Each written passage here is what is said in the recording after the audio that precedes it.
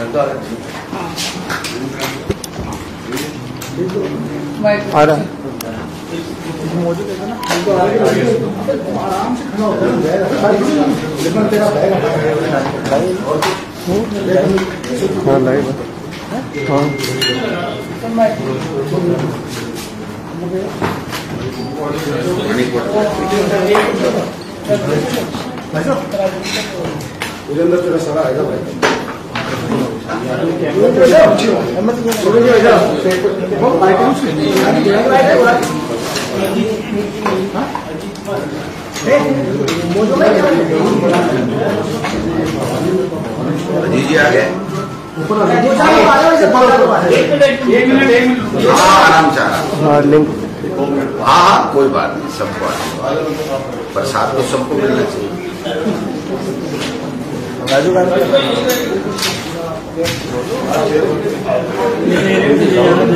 नहीं लगा भाई मेरे इससे ही थोड़ी है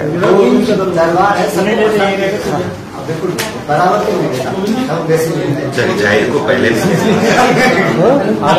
आ रहा है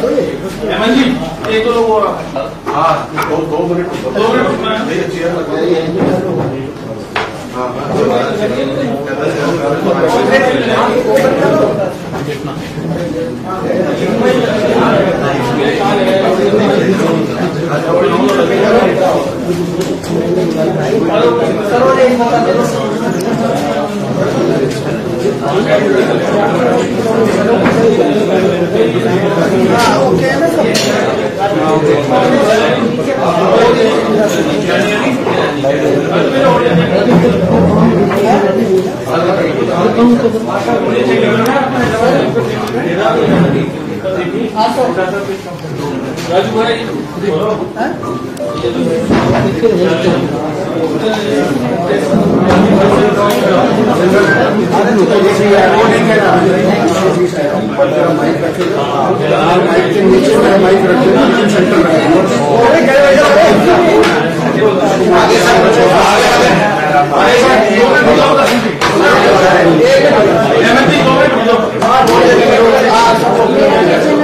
लाइव कौन सा चैनल है?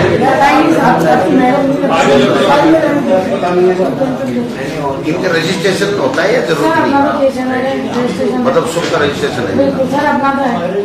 अपने बारे में बोल सकते हैं नहीं, वो तो नहीं मैं सभी के ऊपर बोल अच्छा है तो हमने भी क्या ही समझ रखे। सर तीन चार हो है नहीं नहीं मैं इसीलिए दुनिया को दिखाने तो आया हूँ। सर। ये चीज़ मेरे को हूँ। इसीलिए मैंने बड़े प्रेम से पूछा है। सर मेरा पॉइंट नीचे है ये मेरा अपने चालू है सर सब ये। आगे सब आगे? क्या जी जी आगे? दिया।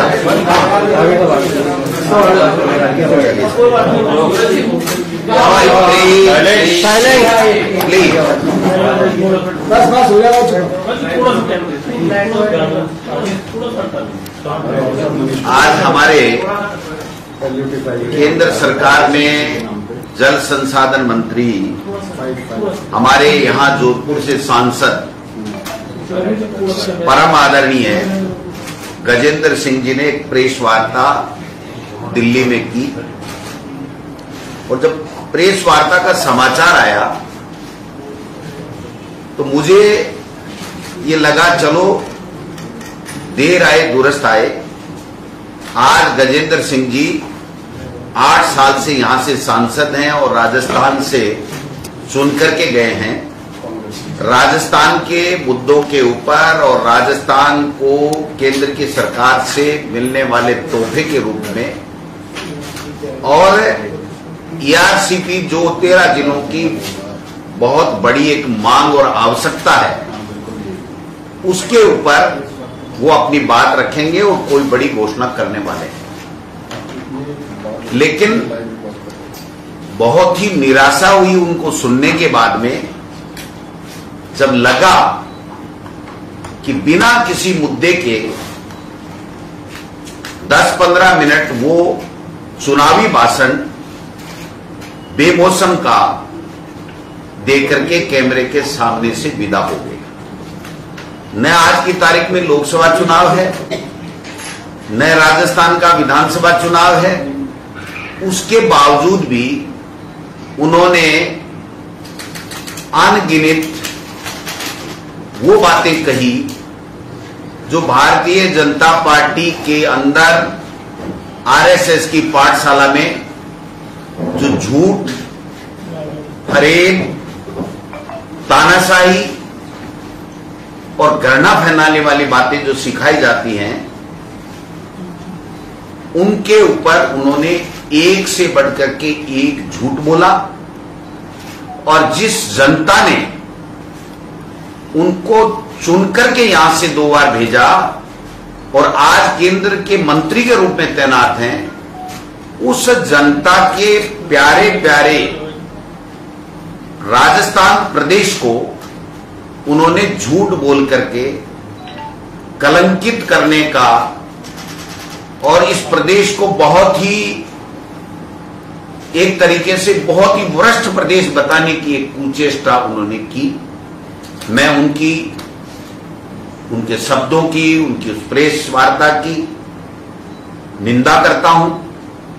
उन्होंने जो कुछ भी बोला, राजनीति से प्रेरित होकर के झूठ बोला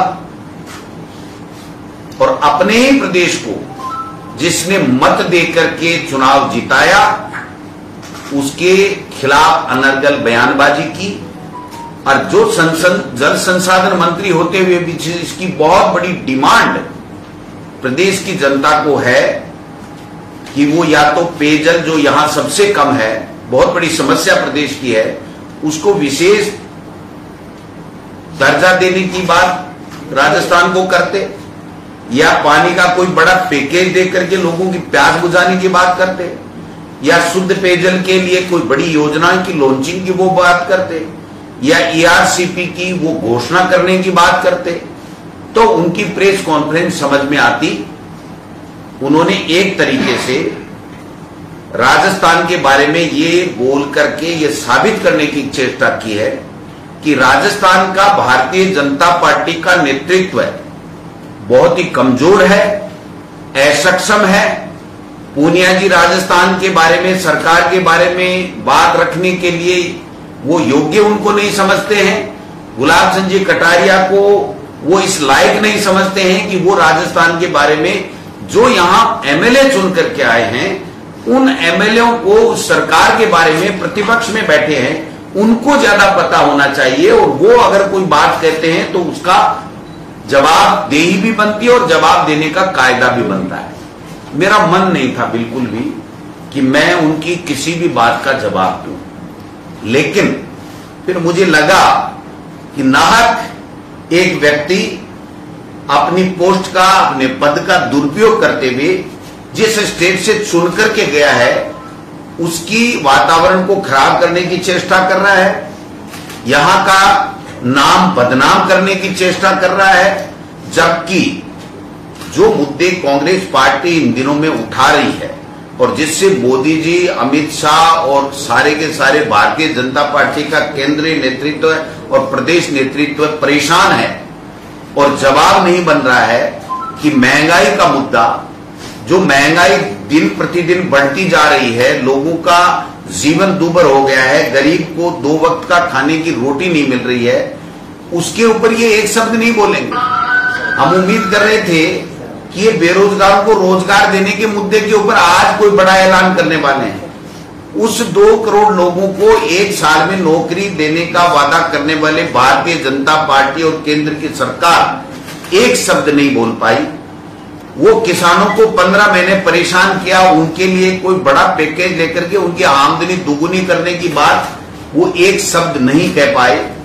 और जिस प्रकार से हिटलरशाही, तानाशाही और अराजकता और लोकतंत्र की हत्या करने का षड्यंत्र ये लोग बात कर रहे हैं, उसके ऊपर ये एक बात नहीं कर पाए। ED CBI income tax Bharatiya Janata party या उनसे समर्थित लोगों के खिलाफ क्यों नहीं काम कर रही है? उनके मुग्ध में क्या इस देश में खत्म हो गए क्या? उनके ऊपर वो कोई बात नहीं करना चाहते। ये जो तीन चार मुद्दे हैं, महँगाई बढ़ने का मुद्दा, बेरोजगारी का मुद्दा, धार्मिक उन्माद फैला करके राजनीतिक रोटियाँ सेकने का जो मुद्दा, और जिस प्रकार से यहाँ पर पूरे देश में मैं समझता हूँ कि जो माहौल खराब हो गया है, लोकतंत्र को जो खतरा पैदा हो गया है, उन मुद्दों के ऊपर जवाबदेही देने का जब समय आता है तो ऐसे लोग आकर के, गजेंद्र सिंह जी जैसे लोग आकर के अनर्गल बयानबाजी करते हैं। हमने तो फिर यह भी सोचा कि हो सकता है इस खुशी में आ गए कि आज नितिन गडकरी जी को उन्होंने एक कांटा निकाल दिया, मोदी जी का। उनको हटा दिया संसदीय बोर्ड से तो उसकी कोई खुशी सेलिब्रेट करने के लिए वो कोई प्रेस कॉन्फ्रेंस कर रहे होंगे। लेकिन वो भी नहीं हुआ, वो कह नहीं पाए। मनी मन खुश ज़रूर थे कि जो व्यक्ति सही बोलने की चेष्टा कर रहा है भारतीय जनता पार्टी में, उसको उन्होंने आज हटा दिया। तो मैं समझता हूँ कि मैं समझ नहीं पाया और मैं किन बातों का, उनकी बातों का उत्तर दूँ, मेरे समझ में नहीं आता क्योंकि वो तो चुनावी भाषण था और तो पूरा का पूरा झूठा भाषण था और उनमें दम्भ था। अब हो सकता है ये भाषण देकर के उन्होंने वसुंधरा जी को थोड़ा परेशान कर दिया होगा, क्योंकि वसुंधरा जी पूर्व मुख्यमंत्री हैं, दो बार की हैं, स्वाभाविक यहाँ की भारतीय जनता पार्टी के आज की तारीख में लीडर हैं। पूनिया जी यहाँ के प्रदेश के अध्यक्ष हैं, गुलाबचंद कटारिया जी यहाँ के नेता प्रतिपक्ष हैं। और राजेंद्र जी राठौड़ भी उपनेता होकर भी नेता का सा रोल अदा कर रहे हैं यहाँ पे तो मैं समझता हूँ इन चारों को परेशान करने के लिए उन्होंने अगर कोई ये मंच चुना है दिल्ली में प्रेस कॉन्फ्रेंस करने का तो भी मैं नहीं कह सकता, ये भी हो सकता है। इसलिए मैं उनको बताना चाहता हूँ, आप आंकड़े उठा लीजिए और आप देख लीजिए कि पोक्सो कोर्ट में त्वरित न्याय कर रहे हैं, उसका जो ट्रैक रिकॉर्ड है राजस्थान में किस प्रकार का है एफआईआर अनिवार्य लॉज हो रही है। 2022 तक दुष्कर्म के मामलों की जाँच में लगने वाला जो समय है, वो 2017 में 435 दिन था 2018 में 211 दिन हुआ 2019 में 140 हुआ 2020 में 117 दिन हुआ, और आज जून 2022 में सत्तावन दिन है। घटना कोई घटती है, उसके ऊपर सरकार पूरी तरीके से त्वरित कार्रवाई करती है। एक्शन लेती है और राजस्थान ही एक ऐसा प्रदेश है जिसमें अलवर ज़िले में सबसे पहले जल्दी समय में अपराधियों को कड़ी से कड़ी सजा दिलाई है, कोर्ट में ले जाकर। मैं समझता हूँ कि उनकी प्रेस कॉन्फ्रेंस बीजेपी को हैरान, परेशान करने वाली या अपने आप को मुख्यमंत्री के तौर पर प्रोजेक्ट करने वाली थी या राजस्थान से चुनाव जीत करके राजस्थान के आब हवा को बदनाम करने की थी मेरे समझ से परे, आपके किसी के समझ में आ गया तो इस बिंदु पे आप मुझे अवगत कराना। हम तो ईआरसीपी की घोषणा का इंतज़ार आज गजेंद्र सिंह जी से कर रहे थे, लेकिन अफसोस है कि वो केवल मात्र एक चुनावी भाषण देकर के कभी केजरीवाल पे बोल गए, कभी गहलोत जी पे बोल गए, कभी सरकार पे बोल गए। एक सब नितिन गडकरी जी को हटाए, उसमें भी बोल देते तो अब उनकी बाइट ठीक हो जाती। मैं समझता हूँ कि ये इनमें दम नहीं था। उनको आज भी चाहिए कि देश महँगाई से परेशान है। 135 करोड़ लोग महँगाई झेल रहे हैं। उस मुद्दे पे आप बात कीजिए। देश में बेरोजगारी चरम सीमा पे है। उसके ऊपर रोज़गार देने की बात पे आप बोलिए। देश में धार्मिक उन्माद फैला हुआ है। उसके ऊपर आप अपनी बात कीजिए। देश में गरीब परेशान है, हैरान है और जो वादे किसानों से दोगुनी आमदनी के किए थे, उसके ऊपर आप कुछ बोलते तो मैं समझ में आता है, लेकिन कुछ भी नहीं हुआ और निराशा हाथ लगी तो मैं यही कहना चाहूँगा कि गजेंद्र सिंह जी, थोड़ा सा इस बात पे भी बोल दीजिए कि खींच तो नहीं मिटा रहे थे सरकार, जो गिराने चले थे और आपने षड्यंत्र किया और वो राजस्थान से कामयाब नहीं हो पाया, ये खींच तो नहीं मिटा रहे थे कहीं? ये भी थोड़ा सा, लोगों के दो चार लोगों में मेरे पास फ़ोन है कि साहब उनके दिल में दर्द है कि मैं मुख्यमंत्री बन जाता, सरकार गिर जाती, अब मेरा नंबर पता नहीं आएगा नहीं आएगा, चुनाव में क्या क्योंकि जो सरकार हमारी गुड गवर्नेंस कर रही है और जिस प्रकार से लोगों का रिस्पॉन्स है और हमारी सरकार की जो मुख्यमंत्री चिरंजीव योजना और जिस प्रकार से इंग्लिश मीडियम स्कूल है कॉलेज खोलना कोरोना में मैनेजमेंट और जो भी कोई घटना होती है उसमें त्वरित कार्रवाई और सामाजिक समरसता, धार्मिक निरपेक्षता, इन बिंदुओं के ऊपर चल करके हमारी जो सरकार काम कर रही है अच्छा बजट आ रहा है, किस तरीके से किसानों को समर्पित अलग बजट दिया। अब की बार मुख्यमंत्री कह रहे हैं कि युवाओं के लिए हम करेंगे। सवा तीन लाख लोगों को नौकरियों की घोषणा, जिसमें कुछ हो गई, कुछ चल रही है, ये है। तो क्या इससे परेशान होकर के कहीं निराशा तो नहीं होगी उनको चुनाव में तो ये भी तो कोई बात हो सकती है, लेकिन आपके समझ में आया तो मुझे बताना, आपने ऐसी प्रेस कॉन्फ्रेंस मेरे मीडिया के मित्र बताएँगे, कभी ज़िंदगी में सुनी है क्या कि जो चुनाव में चुनाव लड़ता है, वो कैंडिडेट जिस प्रकार से विपक्षी पार्टी पे हमले करके, झूठ पे झूठ बोल करके और अपना तीस चालीस मिनट का अपना समय व्यतीत करता है, क्या उस तरीके की प्रेस कॉन्फ्रेंस नहीं थी? क्या प्रेस कॉन्फ्रेंस होती है किसी स्पेसिफिक मुद्दे को लेकर के और उस मुद्दे तक सीमित रहती है और उस मुद्दे के ऊपर अगर कोई सवाल आते हैं, कोई बात आती है तो होती है। वो प्रेस कॉन्फ्रेंस गजेंद्र सिंह की नहीं थी, जिसलिए, इसलिए मुझे आना पड़ा कि कहीं वो ये ना समझ लें कि मैं बहुत बड़ा तीस मार का हूँ और मैंने बोल दिया, किसी ने कुछ बोला ही नहीं। मैं मानता भी नहीं कि गजेंद्र सिंह जी की बात का प्रदेश कांग्रेस कमेटी का अध्यक्ष जवाब दे, लेकिन मुझे पीड़ा हुई और मैं अपने आप को रोक नहीं पाया कि एक इतना बड़ा लीडर जो केंद्र का मंत्री है, राजस्थान की जनता ने उसको पलकों में बैठा करके, यहाँ से चुनाव जिता करके भी जाया और सौभाग्य रहा कि वो चुनाव जीत करके मंत्री बना। और मंत्री बन के इतने ओछे भाषण के लिए अपनी प्रेस कॉन्फ्रेंस का मतलब वो उपयोग करे और प्रेस कॉन्फ्रेंस के नाम से एक तरीके से वो गलत बयानबाजी करे, प्रदेश की छवि धूमिल करने का काम करे, ये मैं समझता हूँ कि उनके लिए शोभा नहीं देता। इसलिए मैं उनसे माफ़ी चाहते हुए उनको ये एक सलाह देना चाहता हूँ। हो सकता है, बात देख के तो लगता है वो बड़े हैं और वैसे हो सकता है वो बड़े हैं या मैं छोटा हूँ। मैं तो उनको बड़ा भाई मानता हूँ, मेरे सीकर के हैं। सीकर के पानी में तो इतनी झूठ थी नहीं ये कहाँ से सीखी इन्होंने मेरे समझ में बाहर है? और ऐसा वातावरण बना दिया कि जैसे प्रदेश में तो पता नहीं क्या हो रहा है, सरकार नाम की कोई चीज़ नहीं है। आज हिंदुस्तान में, अगर किसी स्टेट में सबसे बेस्ट सरकार चल रही है तो वो राजस्थान में है। अगर सब वर्गों को साथ लेकर के कोई योजनाएँ और कोई बजट बढ़िया हुई है तो वो राजस्थान है। और कहीं सबसे ज़्यादा केंद्र की मोदी सरकार को उनके वादों पे फेल होने पे अगर घेरने का काम कर रही है तो कांग्रेस पार्टी राजस्थान से कर रही है। और जब मुख्यमंत्री जी गुजरात पहुँचे तो तिलमिला करके और भाजपा ने इस प्रकार का ये तुर्प का इक्का चलने की चेष्टा की है। मैं समझता हूँ, वो तुर्प का इक्का आज फेल हो गया। आप सब आए, आपको धन्यवाद। आप राजस्थान के कांग्रेस के, लेकिन यहाँ पे बैठकर प्रदेश के, अपने प्रदेश की वर्णन करने के साथ ही आपने वसुंधरा राजे की वर्णन कर रहे हैं। क्योंकि हमने ये भी देखे कि प्रदेश अध्यक्ष कांग्रेस के प्रदेश अध्यक्ष तो कांग्रेस के थे लेकिन वसुंधरा राजे की तारीफ़ कर रहे थे। मैं कब कह रहा हूँ उनको मुख्यमंत्री बनाओ। मैं कब कह रहा हूँ मुख्यमंत्री बनेगी। भाई मैं तो कह रहा हूँ कि स्वाभाविक नेता दो बार की पूर्व मुख्यमंत्री वो है। अब उनसे नहीं करवा के प्रदेश अध्यक्ष से नहीं करा के प्रतिपक्ष नेता से नहीं करा के और उनसे उपनेता से नहीं करा करके, और गजेंद्र सिंह जी दिल्ली के बारे में या केंद्र की सरकार के बारे में कोई बात करे तो समझ में आता है।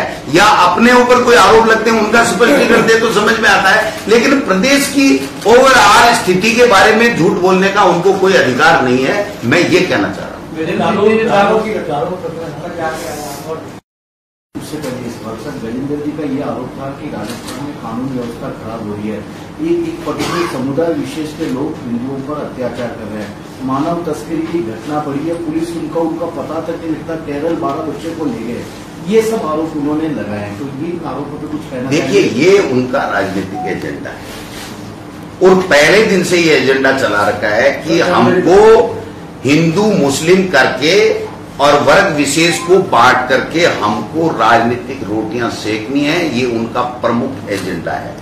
देश उनके भले से जाए बाढ़ में।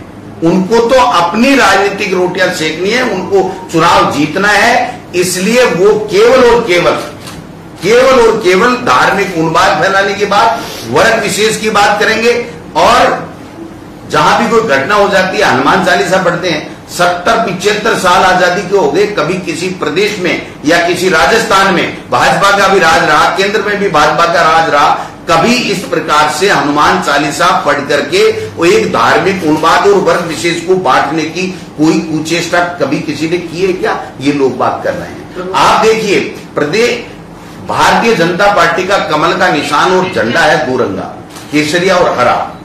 पहली बार हिंदुस्तान में जो केसरिया भगवान की टोपी पहन करके और पट्टा लगा करके उसके ऊपर कमल का फूल, आप बता दिए मेरे को कि भगवा कलर के दुपट्टे के ऊपर भारतीय जनता पार्टी का फूल का निशान किस कानून से, किस राजनीतिक पार्टी के लिहाज से उन्होंने किया?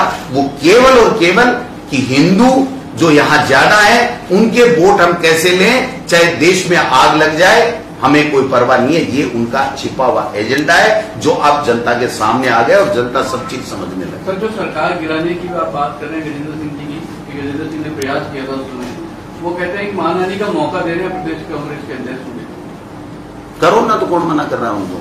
दिल्ली में बैठे हैं अभी तो केंद्र में मंत्री हैं उनके पैसे वैसे भी नहीं लगेंगे कोई वकील वकील कौन मना कर रहा है? वही सिंपल बोले मैं मेरे को कहा नहीं। नहीं नहीं कहा तो कहा रोज़ाना हम बोल रहे हैं ना?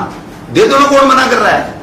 भाई, वही सैंपल दे दो, आपके खिलाफ एफआईआर है। अगर ये बोलना मानहानि है तो ये मानहानि गोविंद डोटासरा सहन करने को तैयार आप कोर्ट में चले जाइए, मना कौन कर रहा है आपको? ये धमकी से गीदड़ धमकी से कोई डरने वाला नहीं है।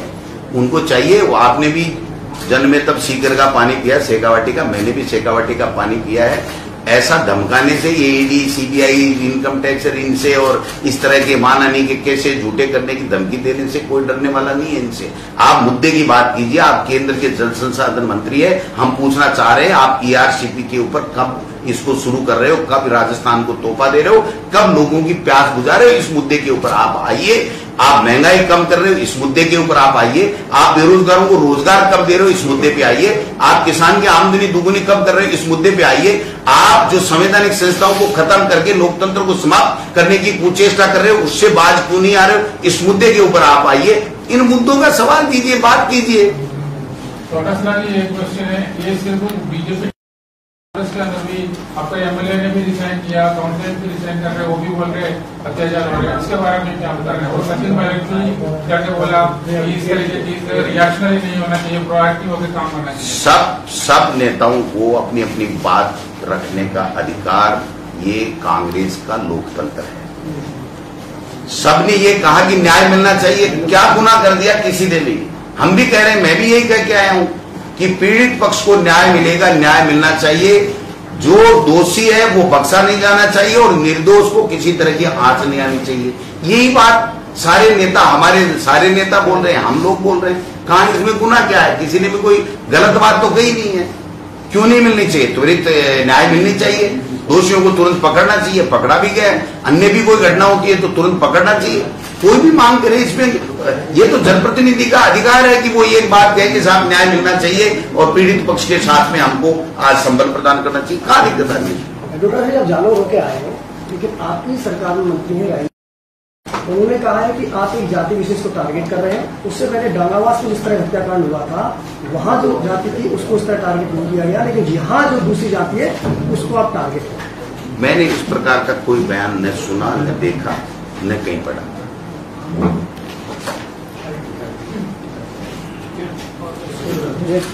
थैंक यू साहब आप जालोर जाकर आए वहाँ पर लोगों ने आपको ज्ञापन भी दिया जिसमें वहाँ मूर्ति नहीं है बच्चों ने भी यही चीज़ कहा। क्या इस स्टोरी पे भी आप लोग काम कर रहे हैं? ये देखिए कांग्रेस की यही खूबी है कि हम पहले पीड़ित परिवार के पास में गए उसकी बात सुनी उसको तसल्ली दी उसको पूरा न्याय दिलाने का विश्वास दिलाया और वो हमारे साथ में खड़े होकर के प्रेस कॉन्फ्रेंस में साथ में उन्होंने एग्री किया कि हम संतुष्ट हैं, हमारी सरकार की कार्रवाई से और पार्टी, कांग्रेस पार्टी ने जो हमें संबल दिया। उसके बाद में जब डिमांड आई कि साहब हमसे भी मिलिए तो तकरीबन हज़ार पंद्रह सौ लोग थे, जो ये कह रहे थे कि भाई हमसे भी मिलिए मैं बीच में गया उनके, बाकायदा बरसात बरस रही थी। उन्होंने मेरा स्वागत किया, कहा, आइए साहब, आप आए हैं, बहुत अच्छा स्वागत है। उनका ये कहना था कि दूध का दूध, पानी का पानी होना चाहिए। झूठा आरोप किसी तरीके का नहीं लगे।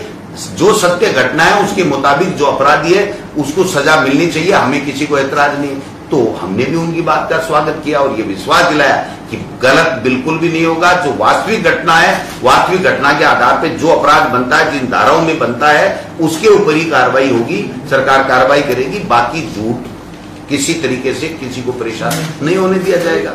जयपुर में भी आज दलित महिला को जलाकर मारने की घटना देखिए घटना ऐसी घटनाएँ बहुत ही दुखदाई होती हैं सबको झंझोड़ देने वाली होती हैं। आम व्यक्ति के लिए भी और जो बुद्धिजीवी है, उनके लिए भी, चाहे मीडिया के लोग हैं, चाहे हम जनप्रतिनिधि हैं, हम सब ऐसी घटनाओं से बहुत ही जो एक तरीके से दुखी होता है मन, और निश्चित रूप से मैं सरकार से ये कहना चाहूँगा कि ऐसे घटनाओं के ऊपर त्वरित कार्रवाई आप करते रहे हैं, और जो ही कोई इस तरह की घटना है, उसके ऊपर त्वरित कार्रवाई हो मुलजिमान गिरफ़्तार हो और जल्दी से जल्दी उनको सजा मिले ये होना चाहिए। मैं आपको पूरा विश्वास दिला सकता हूँ कि हम इस प्रकार की घटनाओं की नहीं हो इसको रोकने का प्रयास भी पूरा करेंगे और होने के अगर हो गई तो उसके ऊपर सख्त से सख्त सजा दिलाने का काम करेंगे। है? ऐसा मेरे कोई संज्ञान में मामला नहीं तो वैसे ये दोनों एक आपके प्रदेश में संतों के ऊपर लगातार मामले आ रहे हैं उनकी जमीनों पर कब्जा हो रहा है। भरतपुर में एक संत ने आत्महत्या कर ली। उससे पहले करौली में ऐसा मामला है संतों ने कहा है कि हमारे कब्जा हो रहा है हम आत्मदाह कर लेंगे। क्या महिला और संत दोनों सुरक्षित नहीं है आज के राज्य में एक जालोर का प्रकरण भी आया आपने नहीं पूछा? उसको भी पूछना चाहिए। जालोर तो बता चुके जालोर नहीं बना चुका रविनाथ की किस प्रकार से एमएलए और उसके गनमैन के ऊपर किस प्रकार के आरोप लगे हैं? तो उसको गजेंद्र सिंह जी को सुबह पूछा नहीं, या पूछा था एक पत्रकार, कोई बड़ा पत्रकार, आप में से ही था कोई अच्छे पत्रकार हो आप लोग तो अच्छे पत्रकार ने पूछा था, वरना तो दिल्ली में हिम्मत कौन करता है ऐसे लोगों से पूछने की? उसने पूछा था तो उन्होंने कहा, नहीं, अर्जुन मेघवाल जी गए क्या हुआ फिर अर्जुन मेघवाल जी गए तो पुराराम के खिलाफ क्या एक्शन लिया? उसने संत का रास्ता रोका और धक्का मुक्की की और जो उसके साथ में जिस तरीके का बिहेव और मारपीट की गई एमएलए या एमएलए के गनमैन के द्वारा उसके ऊपर उसने आत्महत्या कर ली तो उसके ऊपर एक शब्द बोला क्या उन्होंने? कि नहीं, अर्जुन राम जी मेघवाल गए थे। अर्जुन राम जी मेघवाल गए, लेकिन करके क्या आए? गए हम कल थे। सांत्वना दे के आए, न्याय की बात करके आए, न्याय दिलाने का विश्वास दिला के आए, आर्थिक मदद दे करके आए। जो उन्होंने मांगे रखी, उसके ऊपर हम उनको पूरी तरीके से संतुष्ट करके आए। जाना इसको कहते हैं छुप के जाओ और फॉर्मेलिटी करो फिर बताओ ही नहीं कि तुम्हारा हुआ क्या, तुम्हारी रिपोर्ट का अंत क्या। इनको भाई साहब, ये करना है, केवल धार्मिक उन्माद फैलाना है, हिंदू मुस्लिम करना है, कोई मुद्दे की बात नहीं करनी है। देश जिन बातों को लेकर के परेशान है, इनसे जो वादे हुए थे, उनसे जो वादे पूरे करने की बात करते हैं तो ये ध्यान अटकाने के लिए इस तरीके के उच्च हथकंडे ये लोग बात अपनाते हैं, जो इनकी पुरानी आदत है। गोविंद जी भाई साहब, आपके सर हाँ गोविंद भाई साहब इधर थैंक यू नमस्कार. नमस्कार. हो गया. हो रोज़ाना मिलते रहेंगे. मुद्दे की बात यही थी. दोबारा ले लिया? थैंक यू भाई नमस्कार. नमस्कार. नमस्कार. नमस्कार. आपका चैनल नया है बाद में करेंगे. अब आप एक बार एक बार एक बार एंड होने के बाद में फिर दोबारा अपन रोज़ाना मिलते हैं।